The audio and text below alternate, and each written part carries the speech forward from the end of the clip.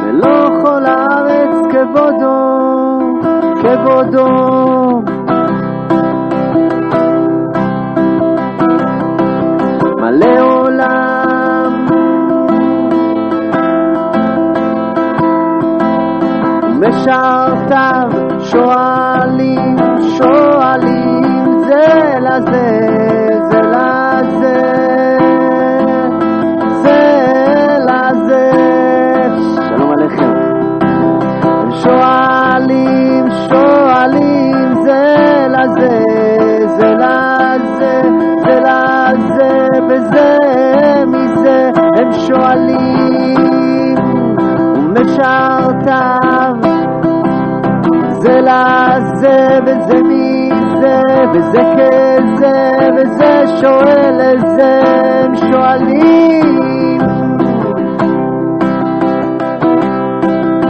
זה כמו זה, וזה מזה, וזה לזה, וזה שואל את זה. איה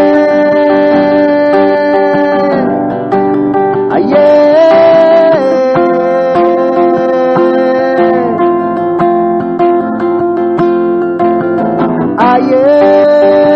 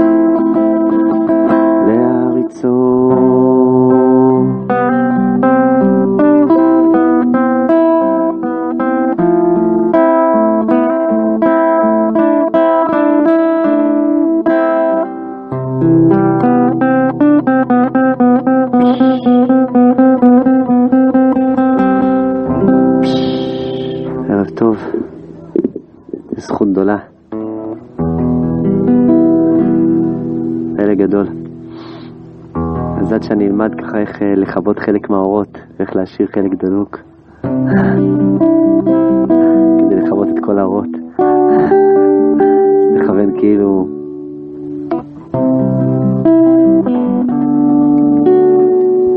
כאילו קיוויתי את כל האורות החיצוניים, כדי שיהיה את האינטימיות.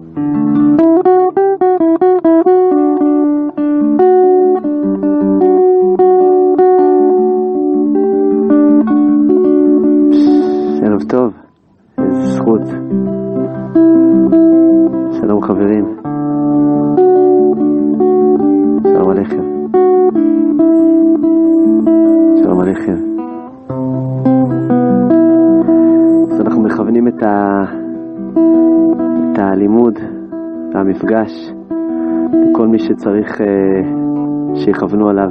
מקדישים את הלימוד לכל מי שצריך הקדשה.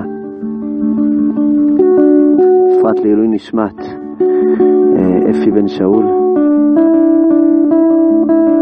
אה, סוניה בת גרשון, דפנה בת איתן, נוח בן אברהם.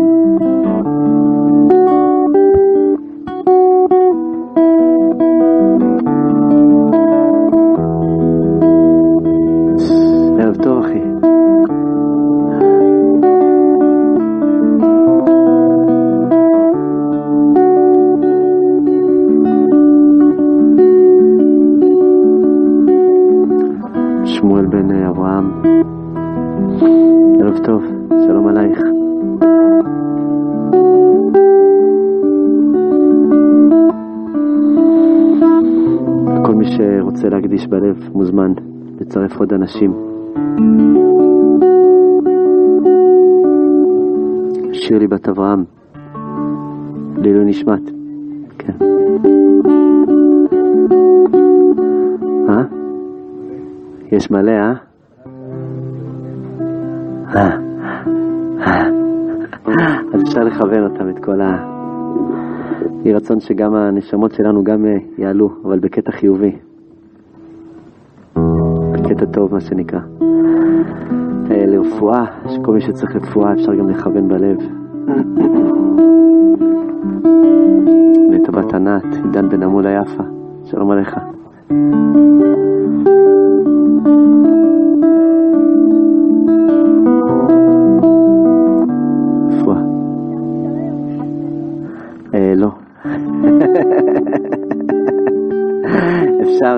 כן, אפשר, אבל עדיף ב... עדיף, אה, אם זה בסדר, בסוף, אם זה בסדר. אני אשמח מאוד, אני ממש אוהב את השאלות שלך, זה שאלות הכי, הכי יקרות. זה בסדר? כן. אז שלא תשכחי אותם. טוב, אם תראי שזה משהו שהוא לא מתאים להשאיר אותו לסוף. אז...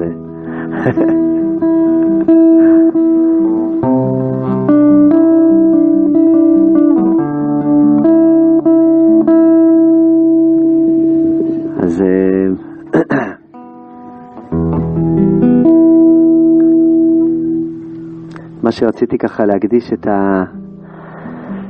את הלימוד, אנחנו ממש uh, מתקרבים לראש השנה.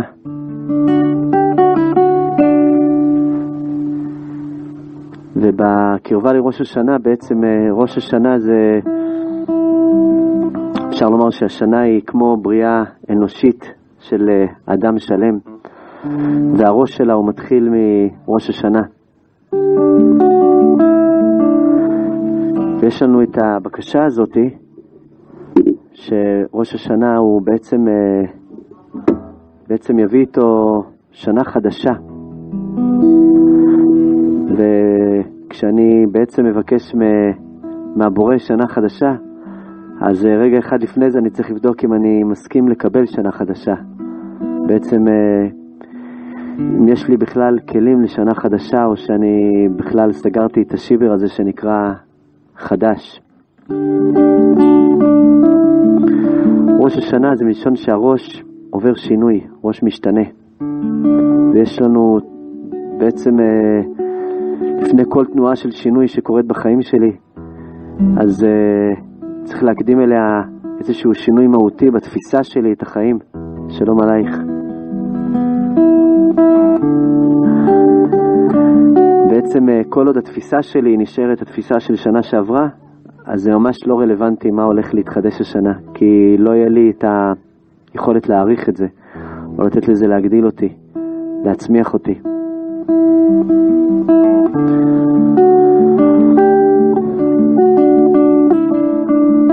שלום עליכם.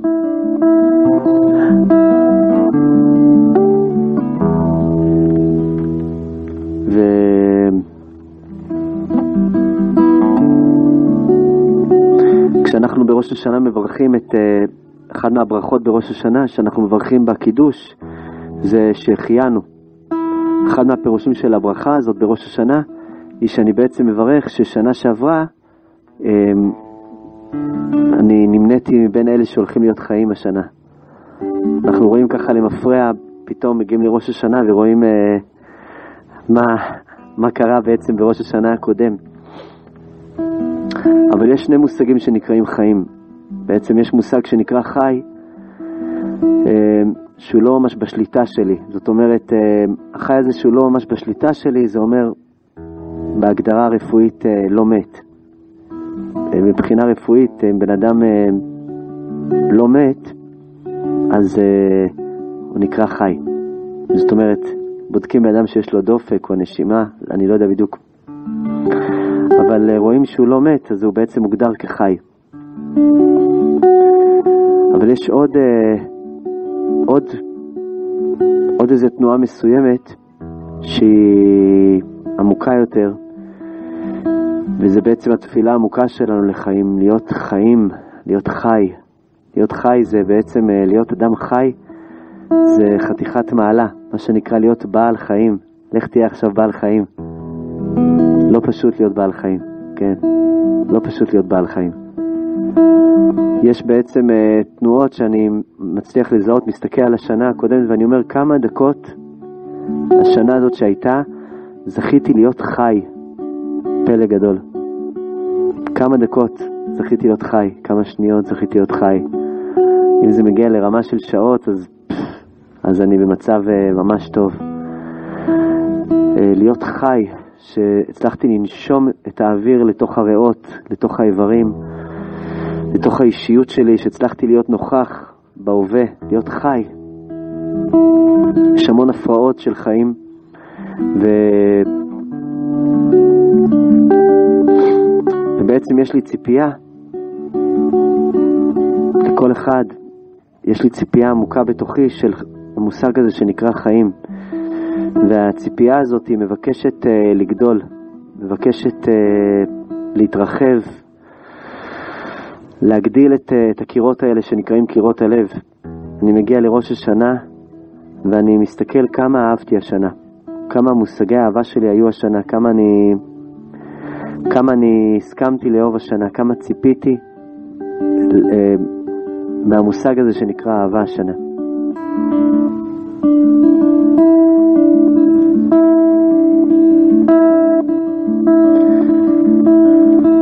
יש לי תפילה עמוקה לשחרר את המושג הזה שנקרא אהבה במושג חדש, עמוק יותר, אמיתי יותר, כנה יותר, מחובר יותר, אוהב יותר.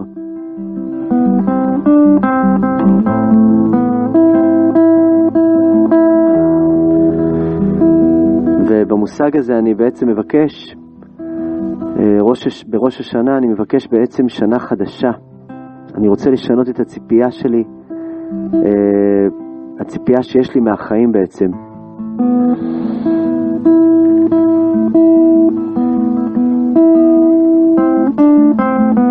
מובא בזוהר על המילה בראשית, שבראשית זה אותיות ראש בית. ראש בית, הכוונה, זה אותיות בראשית, שהוא מרמז שם שבהתחלה יש לי את האפשרות לגעת בראש ובבית. ראש בית, הכוונה זה שיש, הגוף שלי הוא כמו, בנוי כמו צורה של בית בפני עצמו, הנפש שלי בנויה כמו בית. יש בתוכי בית. ולבית הזה יש ראש, יש איזו נקודה של התחלה. הנקודה של ההתחלה נמצאת בפתח כשאני נכנס לבית. כשאני נכנס לבית אני עובר דרך השער, וכמו שמובא בזוהר, על הפסוק נודע בשערים בעלה, יש מושג שנקרא שער מלשון לשער. כשאני נכנס לשער של בית, אני משער, כמה אתה, מה אתה משער למצוא שם בתוך הבית הזה.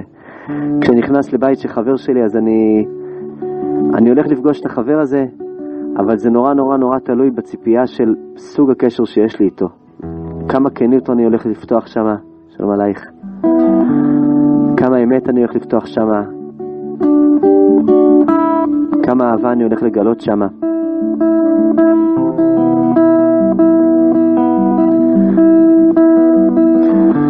הראש שלי הוא בעצם מאפשר לי את, ה... את היכולת אה, להיכנס לבית שלי, להיכנס לגוף שלי, לנפש שלי. הראש של השנה הוא מאפשר לי להיכנס אל השנה במבט שהוא מבקש לבחור. בעצם כשאני מסתכל על השנה שהייתה, אז יש לי הרבה הרבה פעולות שהן uh, פעולות uh, כמעט מכניות. ראיתי בספר שנקרא סוד ישרים, ספר נפלא, שהוא מביא שמכונה, יש לא רק במכונה, יש גם, יש גם בבן אדם. ויש גם גישה מסוימת, גישה לחיים שנקראת גישת המכונה. שלום עליכם. שלום עליכם. גישה של מכונה זה בעצם אומר שאני עובד על אוטומט של, ה, של ההתנהגות שלי. אני בעצם פועל עם, ה, עם הדרך שאני פשוט רגיל לפעול.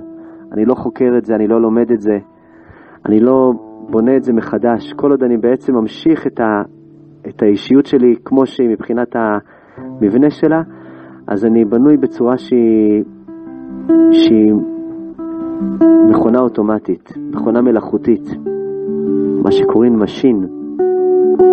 הייתה להקה שנקראת על זה, משינה, עליה השלום.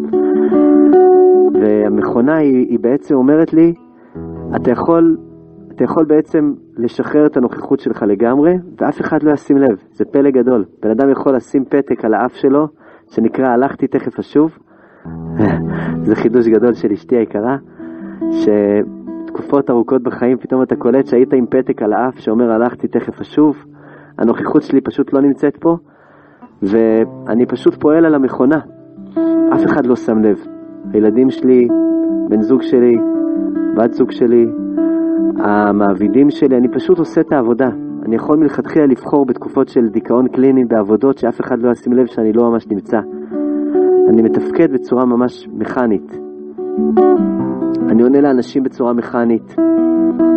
אני עונה לעצמי בצורה מכנית, מכנית. אני אפילו נפגע כבר בצורה מכנית. וזאת אה, שנה עם עובש. יש שנים עם עובש, אז שנים עם עובש זה שנים ש, שבעצם אה, אתה קולט ש... פש, אוי, אני, אני לא הייתי, הראש שלי לא היה פה. לא היה לי את ראש השנה בשנה. זאת אומרת, הראש שלי לא היה בתוך הבית. פלא גדול.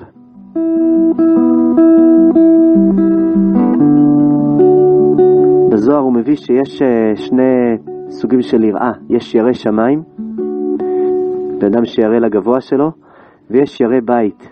ירא, אני ירא לנמוך שלי, דווקא אני ירא לנוכחות שלי, להוויה שלי, להשרשה שלי. אני מפחד לא לפספס את זה. לא בא לי לפספס את היום-יום. אז יש חיים שאין לי בהם בחירה, כמה זמן אני אחיה, אה, כמה זמן אני לא אחיה, אבל יש חיים שיש לנו בחירה, שזה איכות החיים שלי. ואיכות החיים שרציתי לגעת בה, שהיא בעצם בקשה לשנה החדשה, היא איכות חיים שנקראת שעשוע.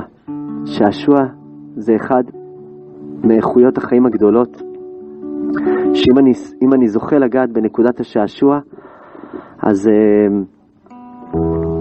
נקודת השעשוע היא מרפאה המון המון המון מהבחירות שלי בחיים uh, ומהציפייה שיש לי מהחיים.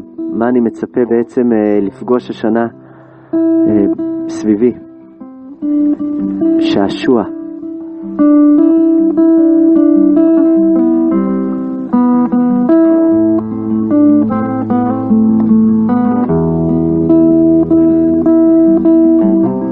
כשאני בעצם נמצא בתוך המכונה, בתוך המכונה האוטומטית שלי, אז אני, יש לי מעין בית שאני נכנס אליו. הבית הזה הוא בית של, שמשאיר אותי בסופו של דבר בודד. יש כל מיני צורות של בדידות. קשה לגלות את זה. זה מין דבר נורא נורא חמקמק. אתה אפילו יכול להיות צדיק וממש ממש בודד. ממש לבד. ברגע שאני מתנתק, ברגע שאני נכנס לבית הבודד שלי, אז אני כבר לא, זה כבר לא משעשע אף אחד. זה כבר לא משעשע גם את עצמי. אני כבר לא בתוך השעשוע. הבדידות הזאת היא מובא שהיא קיימת בכל אחת ואחת מהמידות שלי. ברגע שאני ננעץ בתוך אחת מהמידות שלי יותר מדי, אני פשוט נכנס ונהיה בודד בתוכה. שלום עליך אחי. אני פשוט נהיה בודד בתוך המידה הזאת. מובא שבשבע המידות שלנו, חסד, גבורה, תפארת, נצח, הוד, יסוד ומלכות, שהן בעצם מרמזות על, אה, על הכוחות של המבנה הנפשי שלי, שנמצא בתוכי, שאני פוגש בתוכי, בתוך המידות האלה, אני יכול לפגוש המון טוב. חסד זה נתינה, מידת הגבורה היא מביאה איתה אינטימיות ויכולת בעצם ליצור אה, אה, מרחב עם גבול. מידת התפארת מביאה איתה אמת וכנות. מידת הנצח היא מאפשרת לי אה, להסתכל אה, לנצח, למקום שהוא של עתיד, של uh, סבלנות. מידת ההוד היא מאפשרת לי להיות נוכח בהווה, להודות. מידת היסוד היא מאפשרת לי להיות כלי, להביא איתו, לגלות איתו אהבה. ומידת המלכות היא מאפשרת לי להיות מיכל. אבל כשאני בעצם נעלם בתוך המידות, כשאני בעצם נכנס לתוך המכונה האוטומטית, אז, אז בעצם מה שקורה זה שמה שה... שנמצא בתוכי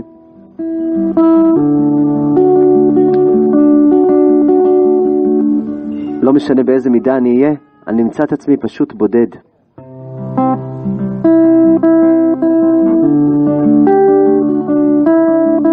מידת החסד, אה, כשאני בודד בתוכה, אני הופך להיות קורבן.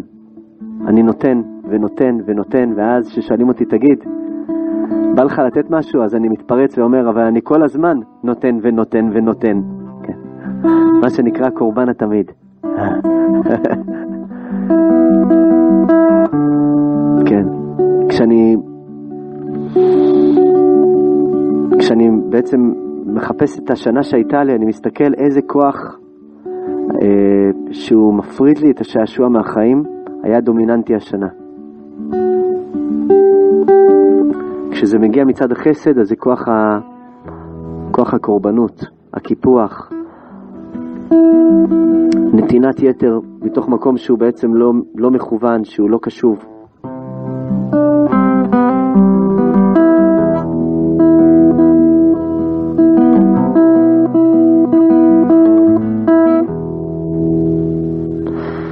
כשאני מסתכל על מידת הגבורה, מידת הגבורה קיים, קיימת במושג הזה שנקרא רצינות, אה, ואם אני אדם גם אה, אה, קדוש כזה, שלום עליכם, ערב טוב. אז קיימת בה גם כן יראת שמיים בתוך עמידת הגבורה, כשאני בעצם, כשאני מפספס אותה, אז מתגלה בה המון המון המון דיכאון נסתר. כמה הדיכאון, כמה דכדוך הנפש הוא בעצם אה, הוביל אותי השנה. כמה קשה, ל, ל, הבעל שם טוב מביא את זה, שאחד מהדברים שקשה להבחין ביניהם זה בין בן אדם שהוא רציני או צדיק, לבין בן אדם שהוא פשוט בדיכאון קליני. זה נראה ממש, ממש, ממש דומה למעשה, כן? שניהם לא מחייכים. אז כשאתה נמצא בתוך מקום שהוא... אה, שהוא החליט לקחת את החיים ברצינות, או לא רק ברצינות, בשיא הרצינות, שזה אחד מהטעויות הגדולות שאני יכול לקחת בהם את החיים, בשיא הרצינות. זאת אומרת, קח את הרצינות שלך, תביא אותה לשיא שלה, ותהיה שמה. זה נשמע ממש כמו מצב טרגי להעביר איתו את השנה. בואו וניקח את החיים בשיא הרצינות.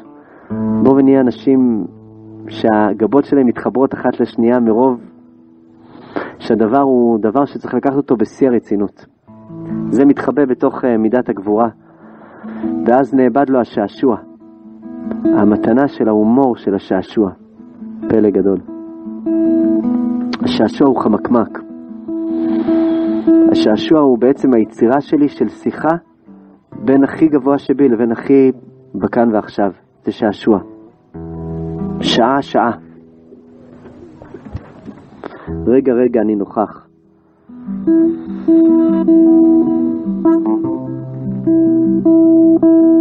מידת התפארת, כשהיא בעצם יוצאת בתוכי, מתוך מקום שנתקעתי בתוכה, היא מתגלה כאדם מאוזן, וכל כך מאוזן, ש... שזה כבר אה, אי אפשר להסתדר איתו מרוב שהוא מאוזן. איזה דבר, איזה מקום לא נעים זה להיכנס, איזה משבצת לא נעימה להיכנס אליה, להיות האדם המאוזן. האדם המאוזן, הוא מסתכל מבחוץ על האחרים, ואומר, תראה את זה, הוא לא מצליח לפרנס כמו שצריך. ותראה את זה, הוא יותר מדי כעסן, וזה, הוא מעט מדי כעסן, כי אני מאוזן, אני יודע בדיוק לאזן את כל המידות שלי. האיזון, כשהוא בעצם, אה, כשהוא לא נכון, אז הוא משאיר אותי באיזה צדקנות שהיא משאירה אותי בעצם בחוץ.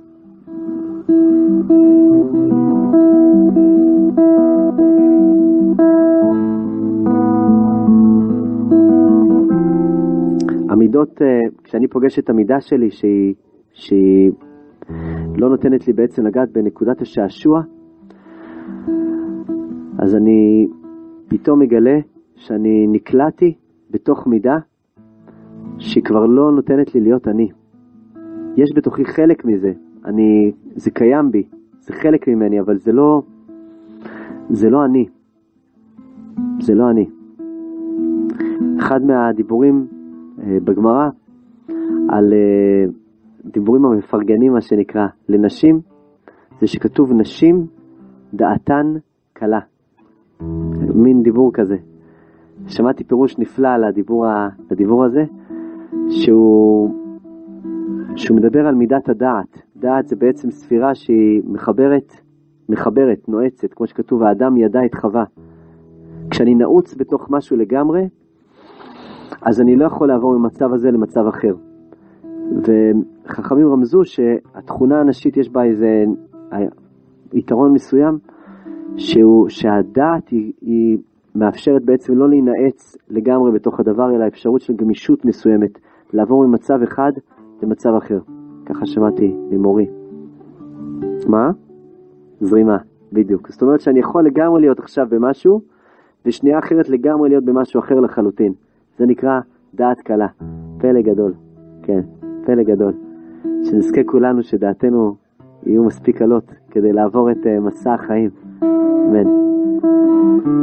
כשאני מסתכל על החיים, אז פתאום אני אומר, וואלה, אני צריך להיות רציני. אחלה, לך על זה, אבל תלך על זה לכמה דקות. שעה-שעה. תראה מה השעה עכשיו שאומרת לך, ושעה אחרי זה יכול להיות שאני אצטרך להיות במשהו אחר לגמרי. אבל כשננעצתי לחלוטין בתוך איזה נקודה, שלום עלייך. כשננעצתי לגמרי בתוך איזה נקודה, אז אני, אז אני כבר כל כך מזדהה עם התכונה הזאתי. שלום חברים. שלום עליכם. אני כל כך מזדהה עם מה שננעצתי בתוכו, שלום עליך, שאני, שפשוט, זה פשוט היה, זה, זה הפך להיות משהו שאני זה זה וזה זה אני. השעשוע בעצם הוא לא מאפשר לי להיתקע במידה מסוימת עד הסוף. הוא מאפשר לי את הפריבילגיה שאני לא אכנס לדמות הזאת, לדמות הרציני או דמות המצטדק או דמות הקורבן. מה נעשה? כולנו קורבנות של השלום, כמו שאומרים. כולנו מוצאים את עצמנו פעם בפעם נהיים באיזה קיפוח מסוים, או באיזה מרמור, או כאב זה, או כאב אחר. אבל השאלה שלי, בעצם האמיתית כלפי השנה החדשה, זה האם זה הציפייה שלי מהחיים. יש בתוכי את המקומות האלה שאני פוגש, שהם חלק מהחיים שלי, אבל יש עוד רובד מסוים שהוא מדבר על הציפייה שיש לי מהחיים. כל עוד הציפייה שלי מהחיים היא ציפייה של שעשוע, היא ציפייה של בחירה, ציפייה של שמחה, אז אני לא הולך לאיבוד בתוך העמידה הזאת שנקלעתי לתוכה, בתוך הכאב הזה שנקלעתי לתוכו. זה לא אני להיות קורבן כל הזמן. בסדר, החלקתי לשם כמה פעמים בחיי. זה לא אני להיות הצדיק התורן כל, כל חיי. החלקתי לשם, או אני מחליק לשם פעם בכמה זמן, אבל אני לא בהזדהות מוחלטת עם זה.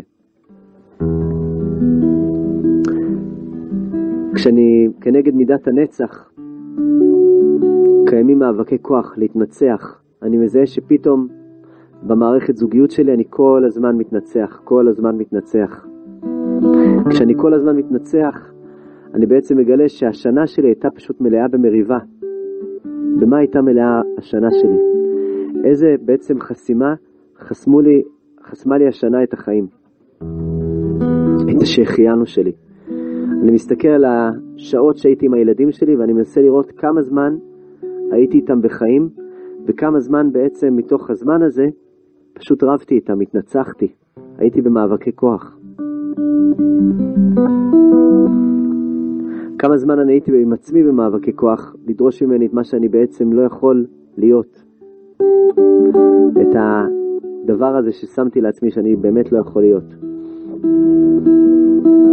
מידת הנצח היא מרמזת על כשהיא, כשאני נקלע לתוכה, כשאני בעצם uh, מסתבך בתוכה, היא מידה ש... שגורמת לי להיות בהתנצחות. במריבה.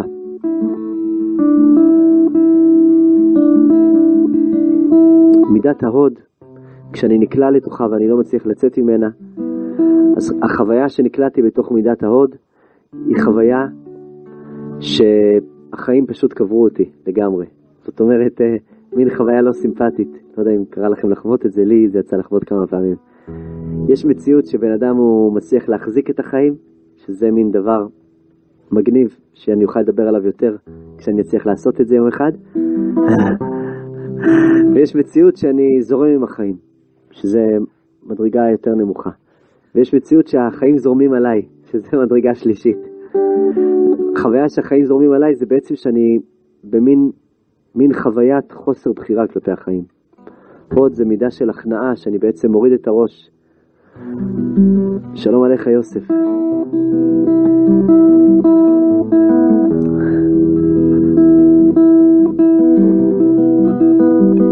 מידת היסוד כשהיא מתגלה בחיים שלי בצורה שנקלעתי בתוכה, זה שאני פשוט בחוויה של טלטול אנרגטי לא פוסק. אני כל הזמן פשוט מחפש לשאוב במקום זה או מקום אחר את כוח האהבה שלי.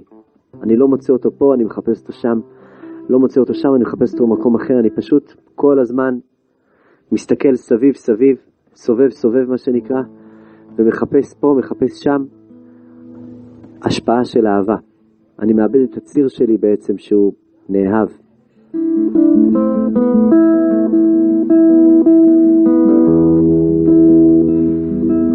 ומידת המלכות, כשנקלעתי בתוכה, היא בעצם אני מוצא את עצמי חזק בתוך האפר, שקוע בתוך האפר של עצמי, בתוך, ה...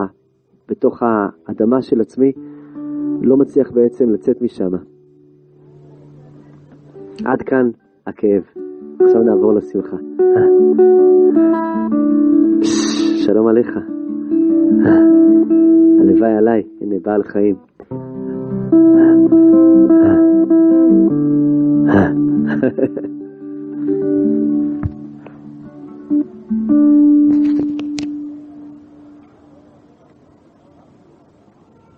בסדר, רק בדקתי שאני מקליט את זה, פתאום נבהלתי, ראיתי את יוסף, נבהלתי שלא הקלטתי את השיר, את השיעור. בסדר. אז הכוח הזה של ה... כשהמידה שבתוכי, נקלעתי אליה ואני נקלעתי לתפקיד שאני לא רוצה להיות בתפקיד הזה. בין אם זה תפקיד שאני מוצא את עצמי בתוך הזוגיות שלי, בתוך ההורות שלי, או עם עצמי. התפקיד הזה הופך אותי, דיברנו על זה גם בשבוע שעבר, להיות במקום שהוא מקום עם עניות. להיות בחוויית העוני זה חוויה מאוד מאוד מאוד מאוד קשה. חוויית העוני היא לא קשורה לכמות הפרנסה שהבן אדם נמצא בתוכה. חוויית העוני היא נמצאת בגישה שלי לחיים. בחוויה שלי האנרגטית שנמצא בסביבה, מול, ה... מול הזוגיות שלי, מול ההורות שלי, מול החברים שלי, אני יכול לזהות האם אני בן אדם עשיר או האם אני בן אדם עני. האם המילים שרצות פה זה מילים של כאב, של כעס, של מרמור, של קורבן, של רצינות. שלום עליכם.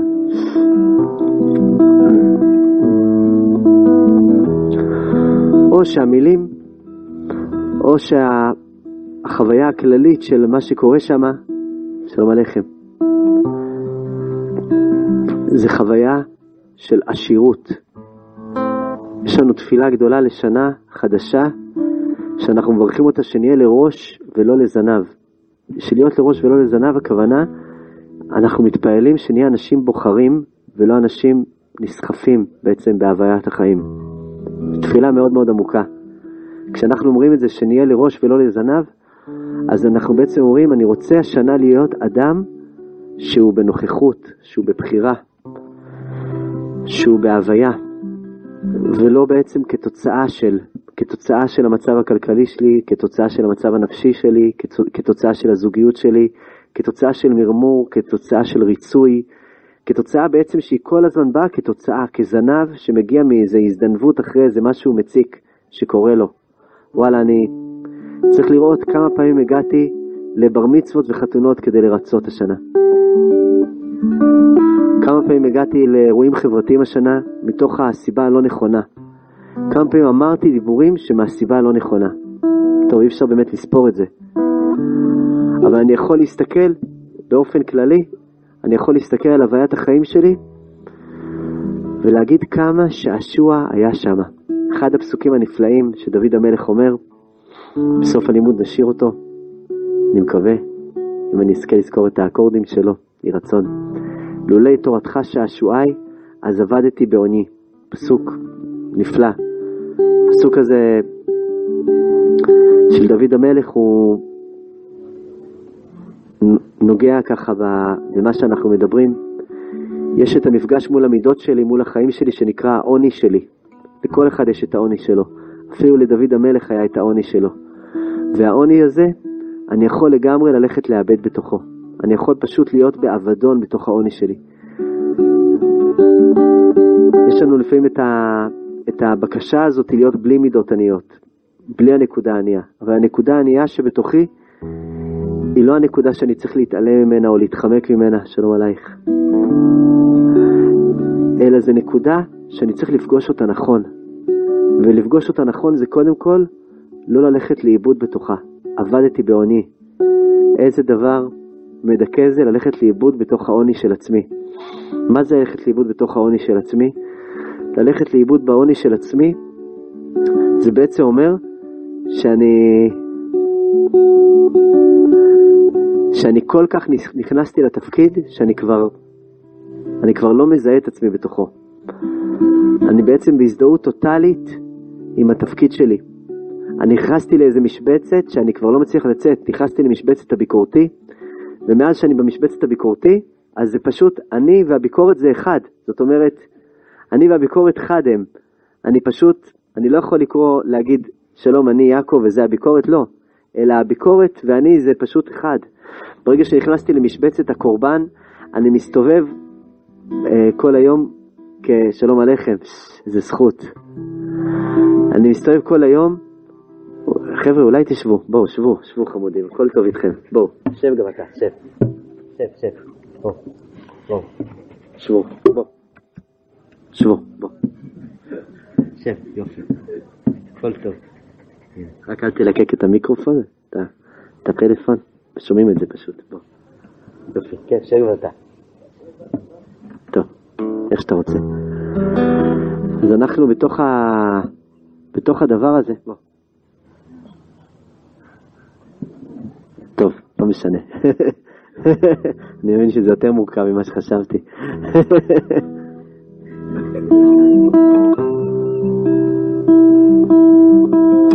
אז מה? אז אה, כשנכנסתי לתוך הזדהות עם, עם המידה הזאתי, ההזדהות הזאת היא נקראת העוני שלי. היא פשוט לקחה לי המון המון המון המון אנרגיה מהשנה, המון אנרגיה. זה קצת כמו מעין עלוקה כזאת שיושבת, חס וחלילה, על הבשר, ופשוט יונקת כוחות. כשיש לי עלוקה, וואי, תודה רבה. כשיש לי עלוקה על, ה, על, ה, על הבשר, אז אני... אברהם. אז אני, אני פשוט מאבד אנרגיה ואני לא מצליח לשים לב מה בעצם גוזל לי את אנרגיית החיים. מה, מה גורם לי לא לברך שהחיינו בלב שלם? אני מזהה שיש איזה, איזה משבצות כאלה, מידות, בתים, בתים בודדים כאלה שנכנסתי לתוכם, שהם לא מאפשרים לי פשוט להיות שם. את השעשוע הזה, כשאני מקבל את השעשוע, השעשוע זה מתנה של ילדים.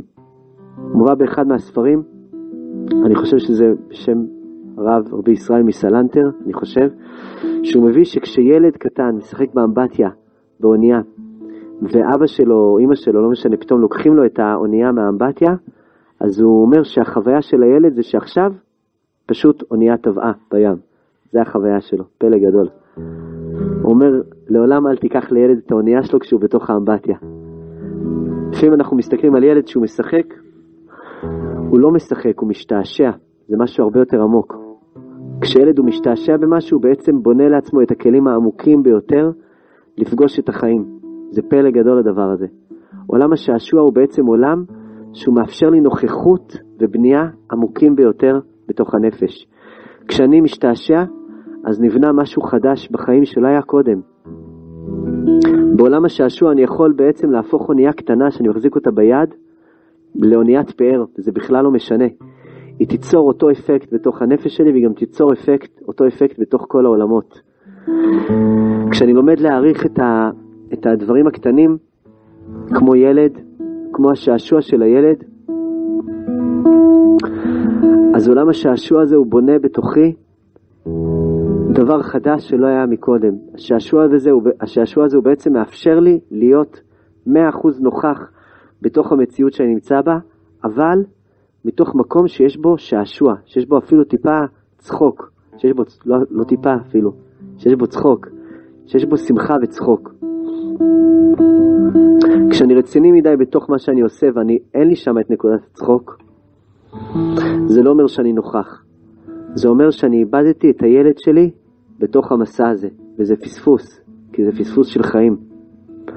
אחד מהפירושים העמוקים שהדגל מחנה אפרים מביא, שיהודה הוא אומר ליוסף, הוא לא יודע שזה יוסף, הוא חושב שזה פרעה, שזה משנה למלך פרעה, הוא אומר לו, איך, איך אעלה אל אבי והנער איננו עמי? הוא אומר לו בעצם, איך אני אעלה אל אבא שלי, אל, אל יעקב, והנער בנימין לא נמצא איתי. הוא מביא פירוש עמוק עמוק שאני מאוד אוהב,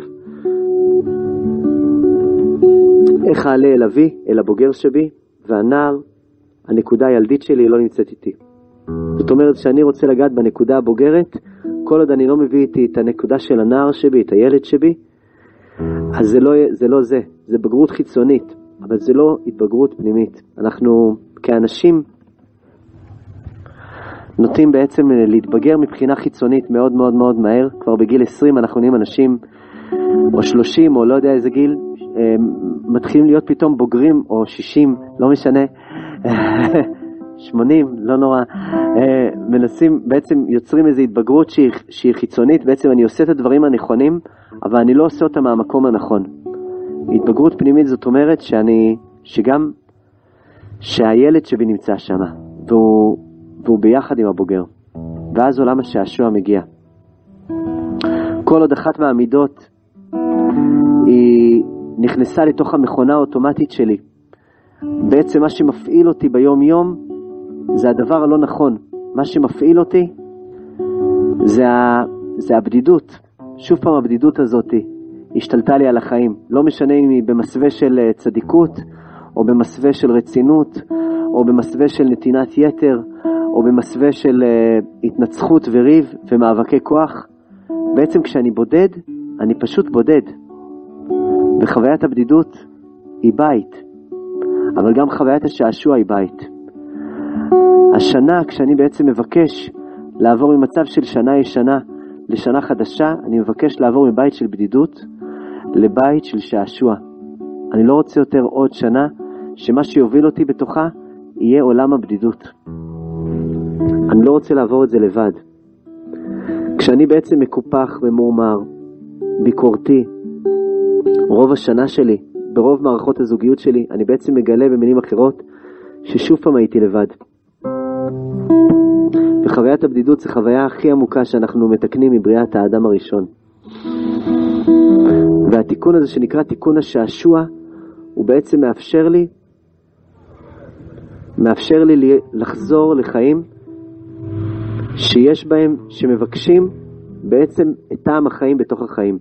דוד המלך הוא אומר, לולא תורתך שעשועי, אז עבדתי בעוני. זאת אומרת, זה לא אומר שאני לא היה לי חלקים עניים. זה לא אומר שלא הייתי מקופח, קורבן, מתמרמר, עצבני, ביקורתי. כל החלקים האלה, הבודדים, הם היו בתוכי. כל החלקים האלה שנקראים עוני. הם היו בתוכי. אבל לא הלכתי לאיבוד שם. זכרתי מה אני רוצה. זכרתי מה אני רוצה כי הצלחתי למצוא את היכל השעשוע בחיים שלי. למצוא את היכל השעשוע בחיים שלי זה בעצם אומר שיש לי פינה בחיים שבה אני חוזר להשתעשע. פלא גדול. פלא גדול.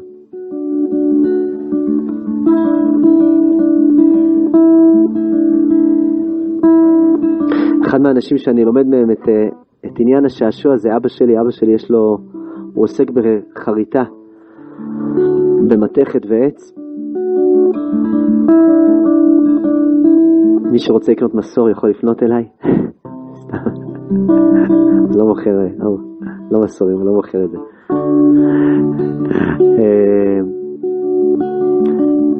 הוא קם בבוקר, ולפעמים הוא מגיע לסדנת עבודה שלו ממש מוקדם בבוקר, ואומר לי, אני כל הלילה חלמתי על איזה בורג. זה החלומות של הבן אדם, על בורג, פלא גדול. זה נקרא שעשוע. שעשוע זה בעצם אומר, שיש לך היכל מסוים שאתה לגמרי נוכח בו, שאי אפשר להפריע לך עכשיו, כי אתה בעצם בתוך חוויה נורא נורא נורא נורא נורא יקרה, שיש בה שמחה וצחוק ונוכחות ביחד. שהרצינות והצחוק הם בעצם לא סותרים שם אחד את השני, בתוך החוויה הזאת. לולא תורתך שעשועי, ברגעים האלה שאני משתעשע, אני בעצם נזכר מי אני. וכשאני נזכר מי אני, אז אני נזכר כשאני עני. אני נזכר את, החלקים העניים שלי כדי לא לטבוע בתוכם, לא לאבד בתוכם, לא להזדהות בתוך החלק הזה שהוא, שהוא כבר לא משתעשע בתוך החיים. תפילה מאוד מאוד עמוקה, לגעת בעולם השעשוע. אחד מהעצות לגעת בשעשוע זה... אני לא יכול בעצם להיות 24 שעות בשעשוע, אולי אני כן יכול להיות, אבל אני אישית לא נמצא שם, אני מאוד מאוד רוצה להיות שם, אבל אני עדיין לא נמצא שם.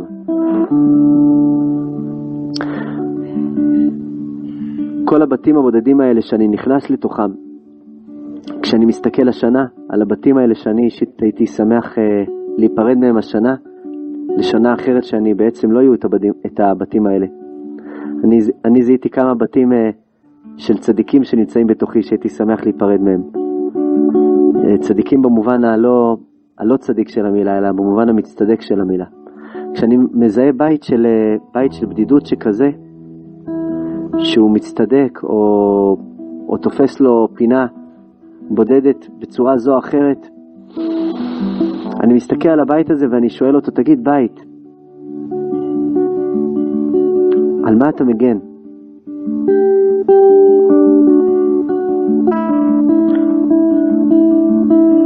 אני מבקש בעצם ל, ל, למוסס את ההתנגדות שיש בתוכי, כי הבית הזה זה התנגדות לחיים. אני עדיין מתנגד לחיים. אני עדיין לא מאמין שהבן אדם הזה שאני כרגע מדבר איתו, אני עדיין לא מאמין שאם אני אדבר, לא אדבר איתו דברים אה, מצטדקים או דברים אחרים, אני עדיין לא, לא מספיק מאמין שאני אוכל לדבר איתו חיים. איזה כיף זה ליצור עם בן אדם דו-שיח של חיים. זו חוויה, ש... חוויה של עונג שאין כדוגמתה. אז העצה האחת, בעצם כשאני רוצה להוריד שעשוע לתוך החיים שלי בחזרה, לחזור לעולם השעשוע עם, עם הבן זוג שלי, עם הבת זוג שלי, עם הילדים שלי, זה קודם כל לזהות את המקומות שהם לא משעשעים שם, את המקומות הרציניים האלה שמתגלים, את המקומות שהם הפך השעשוע, הפך הנוכחות, ולהגיד, המקום הזה הוא מתנגד, הוא חתיכת מתנגד, מה שנקרא, מתנגד להוויית חיים. הביקורתיות זה תירוץ. זה, זה תירוץ שהוא בעצם לא, שאני עדיין לא מאמין בעצמי עד כדי כך שאני אוכל למלות את החלל הזה בחיים. הריצוי זה תירוץ. זה תירוץ שהוא אומר לי, תקשיב, אני מרצה כי אם אני אפסיק לרצות, אז אני, אני לא יודע מה אני אעשה. אז במה אני אעבוד בעצם? מה ימלא לי את החיים?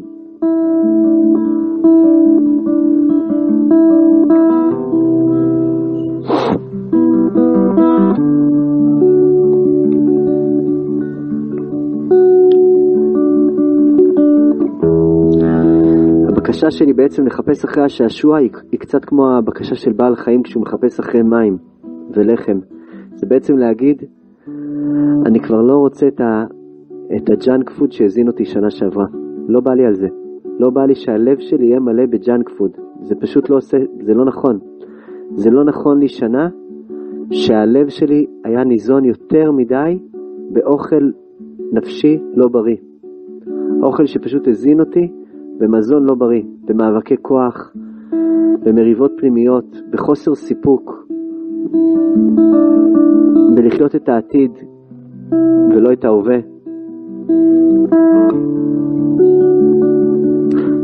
הבקשה הזאת היא בקשה עמוקה מאוד. הבקשה של ציפייה של שעשוע היא בעצם בקשה שאומרת לי שאם אני אהיה נוכח לגמרי לגמרי לגמרי במקום, בהוויה, אם אני אגלה מקומות שמאפשרים לי להיות נוכח, אז אני אקבל את המזון שלי, אני אקבל את ההדרכה שלי. אני אקבל את ההדרכה שלי. זה מאוד מאוד מאוד מאוד מפחיד לעשות uh, כמו שיש uh, צומות מיצים, שאני עוד לא עשיתי כזה דבר, אבל אולי יום אחד אני אעשה. שיש כל מיני צומות כאלה שאני, שאני סוגר את האוכל שאני, שהרגשתי שהוא לא עושה לי טוב, זה דבר מאוד מאוד מפחיד ליצור פתאום עם בן אדם שאני מגלה שהקשר שלי איתו היה חסר חיים, היה על בסיס חסר חיים, ממש. כי הרי כשאני לבד, כשאני בתוך הלבד, כשאני בתוך מה שאני אוהב לעשות, אני פתאום מגלה שוב פעם את טעם החיים, פתאום הלב שלי חוזר לנשום, חוזר לאהוב. אבל כשנמצא במקום שהוא לא פשוט, אז פתאום הטעם החיים הזה הולך ו... ומתמסמס. ככל שחשבתי שלא מגיע לי לצפות לחיים, אז ככה לאט לאט נהיו לי פחות ופחות רגעי שעשוע. רגעי שעשוע זה בעצם הרגעים שבהם הנוכחות הזאת שנקראת שעשוע, שעה, שעה, שעשוע זה גם לישון לפנות, שאה, שאה אל תפיל, תפילתי, תפנה, תפנה, אני שמה. שאני פשוט מונח שמה, שאני פשוט חי. זה רגע של קסם, הרגע הזה בעצם שאנחנו מוכנים להגדיל אותו, הוא בעצם, זה בעצם רגע שאני מחפש אותו כמו מזון, כמו לחם ומים. השנה הזאת אני מבקש ציפיות חדשות מהמשפחה שלי, מעצמי, מהחיים שלי, ציפיות לא שהן דורשות יותר, אלא ציפיות שהן מאפשרות יותר. כשאני מצפה לשנה חדשה מהמקום העני שבתוכי, אז, אה, אז אני מצפה לדברים שהם באים מהעניות.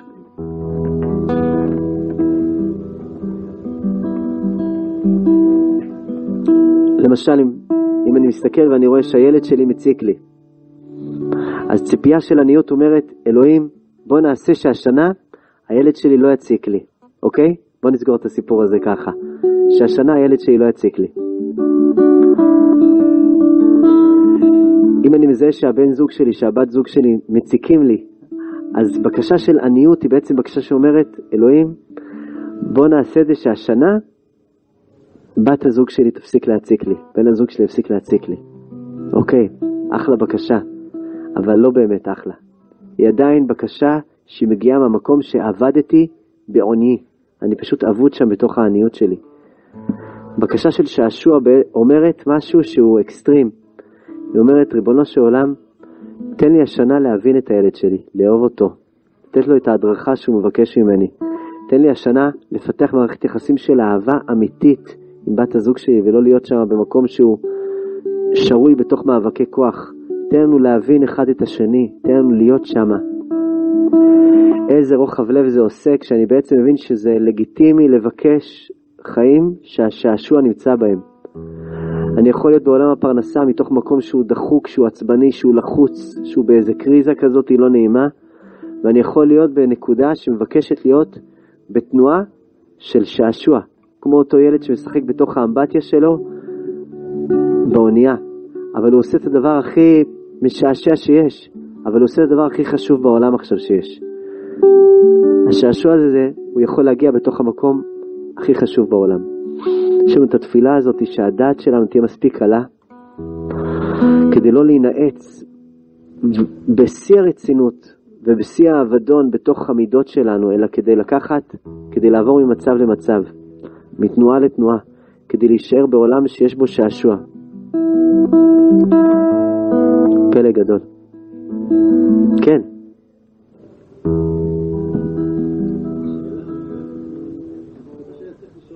אמן.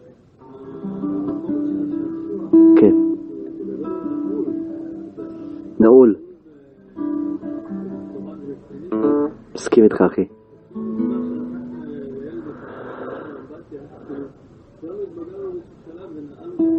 נכון, נכון מאוד.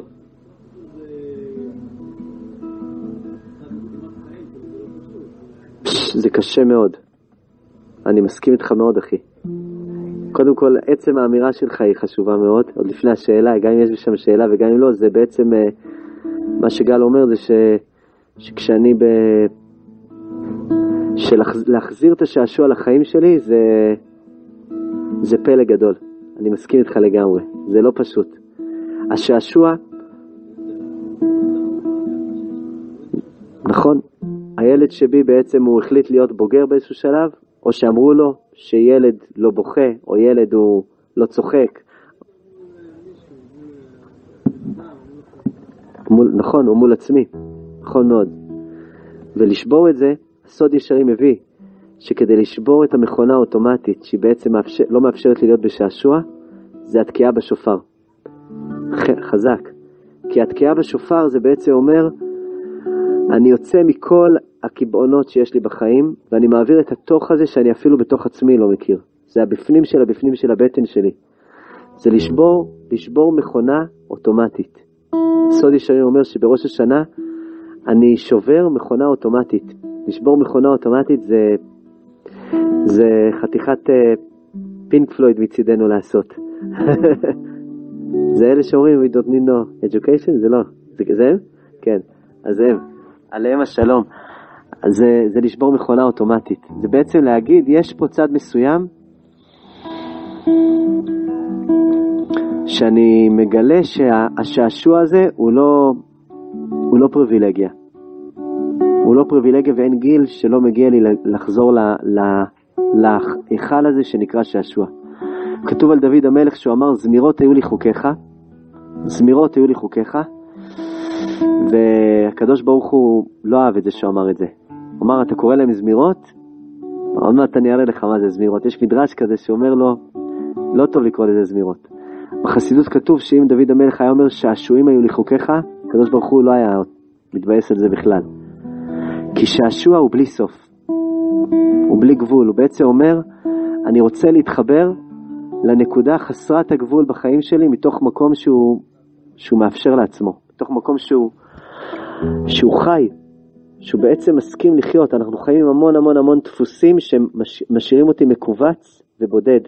ונכון, נעלתי את זה באיזה תיבה עתיקה, אבל יש בתוך כל אחד מאיתנו נקודה של שעשוע. אני לא חייב לגלות אותה בבת אחת, אבל אני מגלה אותה בתנועות הקטנות של החיים שלי, שאני פתאום מרשה לעצמי. וכשאני מרשה לעצמי לעשות משהו מהמקום הנכון, זה עונג שאי אפשר לתאר ולשער.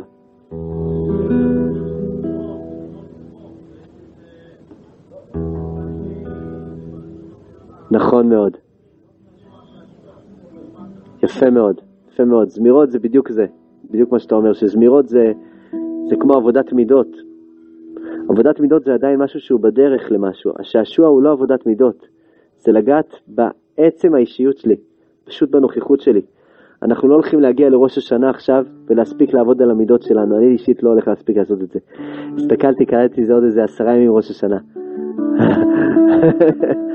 אין מצב שאני אספיק לעבוד על המידות שלי בעשרה ימים. זה, עוד לא התחלתי לעשות את זה, אני לא הולך להתחיל את זה עכשיו ככה ולהיכנס לפרויקט הזה.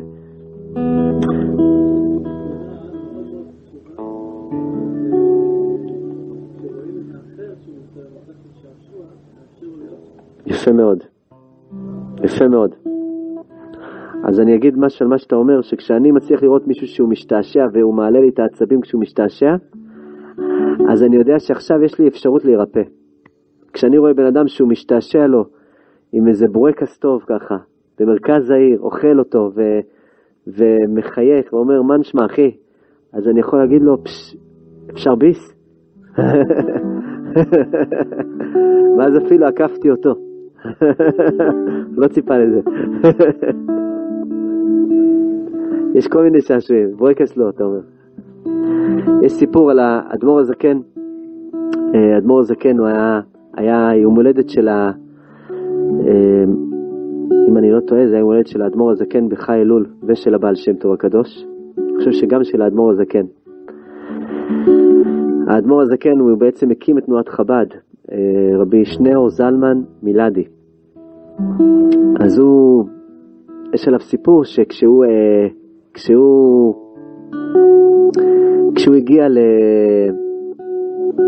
כשהרבי שלו, המגיד ממזריץ', נפטר, אז הוא הפך להיות ממשיך דרכו, והרבה חסידים נערו אליו והגיעו אליו.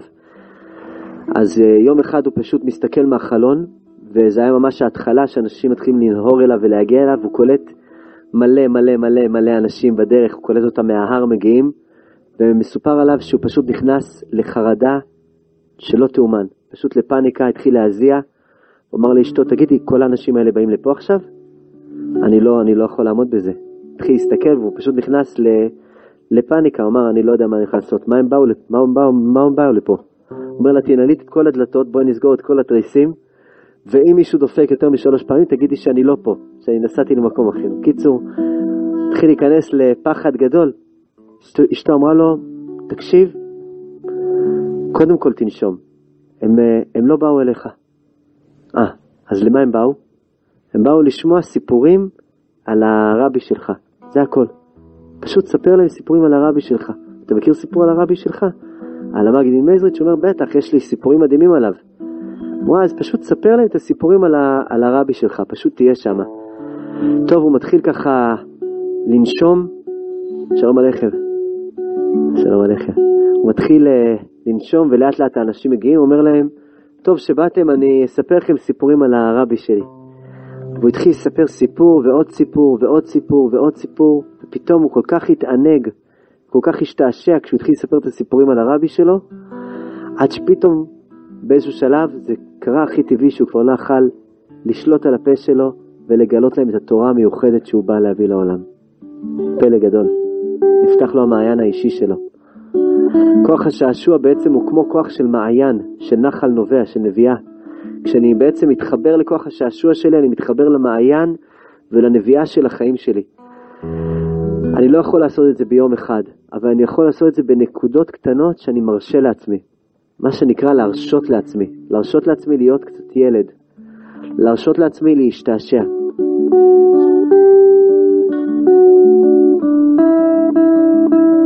בעל שם טוב מסופר, מסופר עליו שהוא סיפר מעשה על, אה, על אה, מוזיקאי מדהים, שהמוזיקאי המדהים הזה הוא פשוט היה, כשהוא היה בעצם אה, פורס את השטיח ומוציא את הכלי ניגון שלו, אז פשוט כל העולם היה משתנה. ברגע שהיה מתחיל לנגן, אז אנשים פשוט היו, הוא היה פשוט נגן משנה תודעה. ממש ככה, ברגע שהיה מנגן, אנשים פשוט התודעה שלהם הייתה משתנה, והיו מתחילים להזיז את כל האיברים שלהם, ופשוט לזוז בצורה נפלאה. זה מה שהיה קורה כשהיו שומעים את המוזיקאי הזה, ככה הוא מספר. יום אחד המוזיקאי הזה מנגן אה, ב... באיזה בית, וכל מי שנמצא שם פשוט לא יכול לשמור על האיברים שלו שישבו במקום, ואנשים פשוט התחילו לזוז, הצווארים שם היו עפים מכיוון לכיוון, והידיים מתנוערות מצד לצד, הרגליים עפות למעלה למטה. בקיצור, נהיה שם קרחנה רצינית, והכל סביב המוזיקאי הזה, משהו רציני מאוד. פתאום הגיע לשם, לתוך הבית הזה, בן אדם מסכן, לא שומע חירש. והחירש הזה מגיע, והוא מסתכל במיוט על האנשים, קולט כל מיני אנשים שהצוואר שלהם זז מצד לצד, וה, והכתפיים שלהם עולים מלמעלה למטה, והרגליים שלהם עפות באוויר. הסתכל החירש ואמר, בוא'נה, אתם משוגעים לגמרי. פשוט אנשים משוגעים יש פה. הסתכל הבעל שם טוב, גמר את הסיפור ואמר, ככה זה כשאתה לא שומע. חזק. חזק. כשניתקתי את הקשר מהשעשוע שלי, אז באותו רגע הפכתי להיות הביקורתי שבחבורה. ממש באותו רגע, כי אני כבר לא שומע. ברגע שאני לא שומע, אז המון המון המון המון המון מתופעות הלוואי של הלא לשמוע הזה, לא לשמוע את כל השעשוע, הן גורמות לי ליצור את המערכות יחסים שהן גורמות לי. לולא תורתך שעשועי אז עבדתי בעוני. ברוך אתה השם אלוהינו מלך העולם, אשר קידשנו במצוותיו וציוונו לשמוע קול שופר. לא פשוט לשמוע קול שופר. לא פשוט לשמוע, לא פשוט לשמוע קול של שעשוע גולמי. כשאני בעצם שומע את קול השופר, אני אמור להתכוון לשמוע את השעשוע הגולמי ביותר, הפשוט ביותר, שנמצא בתוכי, ו... ולקבל ממנו את ההתעוררות הזאת לשנה חדשה. התעוררות בעצם מתוך כל הבתים הבודדים שחייתי בהם השנה.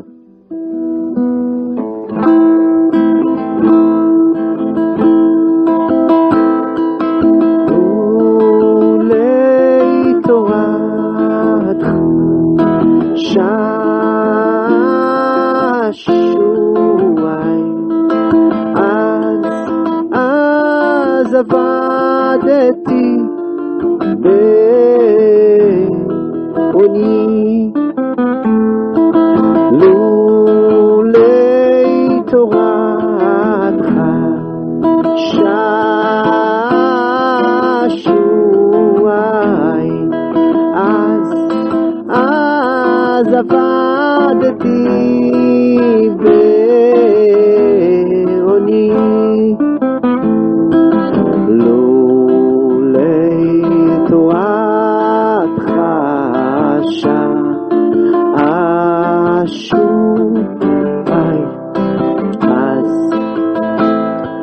עבדתי בעוני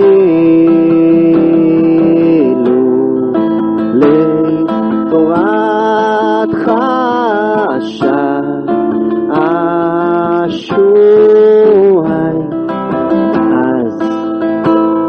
עבדתי